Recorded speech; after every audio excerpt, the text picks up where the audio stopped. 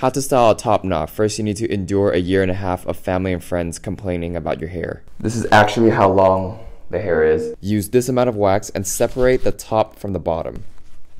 Have a band ready. Slowly gather up your hair like this. Start from left to right, twist, back again, twist for a final time, and depending on the length of your hair, you want to form your bun. To me, this is tight enough. Might be different for you. Now we're gonna use some hairspray to lock everything in. Wax gets the job done, but I wear a motorcycle helmet every day, and so the hairspray guarantees that everything sticks together.